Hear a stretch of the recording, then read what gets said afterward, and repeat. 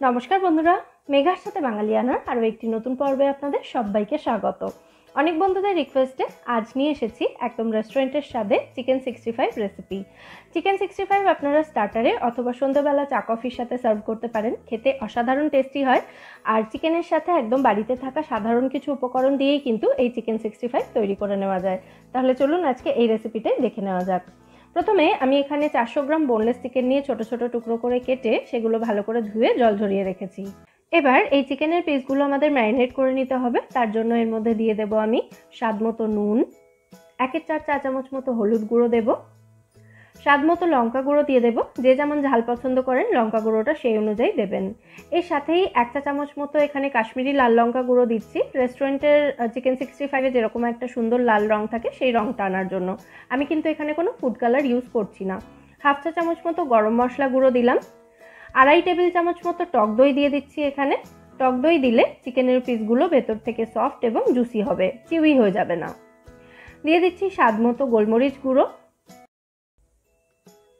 দিয়ে দিচ্ছি দেড় টেবিল চামচ মতো আদা রসুন বাটা। এখানে এক টেবিল চামচ রসুন বাটা এবং হাফ টেবিল চামচ আদা বাটা নিয়েছি। মানে রসুনের পরিমাণটা কিন্তু বেশি রয়েছে। এর সাথেই দিয়ে দিচ্ছি তিন টেবিল চামচ মতো ময়দা আর দুই টেবিল চামচ মতো কর্নফ্লাওয়ার। কর্নফ্লাওয়ার না থাকলে আপনারা এখানে চালের গুঁড়ো ব্যবহার করতে পারেন। কর্নফ্লাওয়ার বা চালের গুঁড়ো দিলে চিকেনের ওপরে কোটিংটা সুন্দর মুচমুচে হবে। আর সবশেষে দিয়ে দিচ্ছি একটা ডিমের সাদা অংশটা। কুসুমটা আমি দিচ্ছি না, তবে আপনারা চাইলে পুরো ডিমটাই কিন্তু এখানে ব্যবহার করতে পারেন। এরপর সমস্ত উপকরণ একসাথে ভালো করে মিশিয়ে নিতে হবে। হাত দিয়ে মেশালে কিন্তু এটা একদম পারফেক্টলি মিশবে। সমস্ত উপকরণ ভালো করে মিশিয়ে নিয়েছি, তারপর এটাকে ঢাকা দিয়ে মিনিমাম আধ ঘণ্টা এটাকে এভাবেই রেখে দেব, তাতে চিকেনটা খুব ভালো মতো ম্যারিনেট হয়ে যাবে। আধ ঘণ্টা পর এবার আমি চিকেনের পিসগুলো ফ্রাই করে নেব। আপনাদের হাতে সময় বেশি থাকলে এটাকে বেশি সময়ের জন্য ম্যারিনেট করে রাখতে পারেন আপনারা, তবে সেক্ষেত্রে কিন্তু অবশ্যই ফ্রিজে রাখবেন।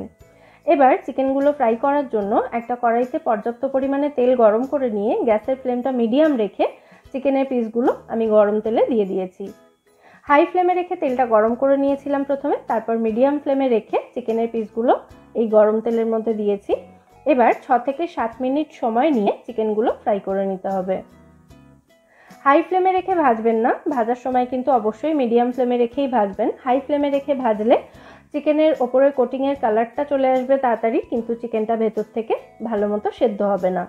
সেই জন্য মিডিয়াম ফ্লেমে রেখেই এটাকে ফ্রাই করতে হবে।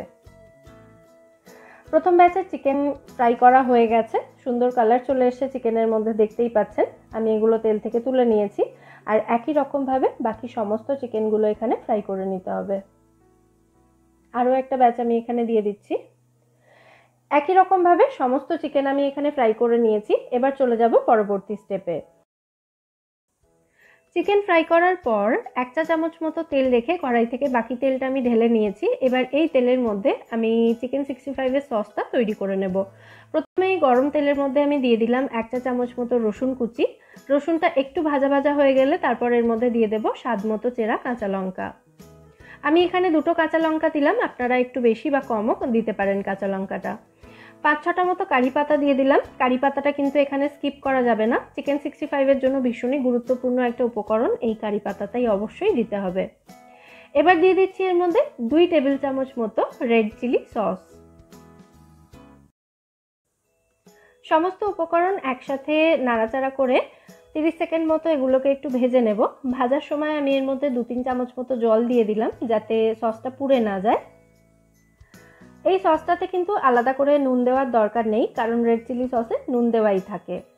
সসটা রেডি হয়ে গেলে এর মধ্যে ভেজে রাখা চিকেনের টুকরোগুলো দিয়ে খুব ভালো করে মিশিয়ে নিতে হবে।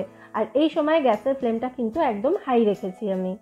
এক থেকে দেড় মিনিট সসের মধ্যে নাড়াচাড়া করে নিলেই আমাদের চিকেন সিক্সটি ফাইভ এখানে একদম রেডি হয়ে যাবে সার্ভ করার জন্য। আলাদা করে কিন্তু আমি কোনো ফুড কালার এখানে ব্যবহার করিনি, তাও দেখুন রেস্টুরেন্টের চিকেন সিক্সটি ফাইভের মতো সুন্দর একটা কালারের মধ্যে চলে এসেছে, শুধু কাশ্মীরি লাল লঙ্কা গুঁড়ো ব্যবহার করাতে। তাহলে তৈরি হয়ে গেল আমাদের চিকেন সিক্সটি ফাইভ বাড়িতে যে কোনো অনুষ্ঠানে স্টার্টার হিসেবে অথবা সন্ধ্যেবেলা চা কফির সাথে আপনারা এই চিকেন সিক্সটি ফাইভ সার্ভ করতে পারেন। অসাধারণ টেস্টি হয় খেতে। অবশ্যই রেসিপিটা বাড়িতে ট্রাই করে আমায় জানাবেন। এই রেসিপিটা আপনাদের কেমন লাগল?